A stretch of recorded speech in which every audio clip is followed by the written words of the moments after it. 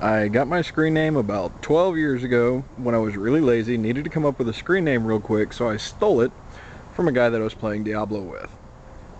Simple.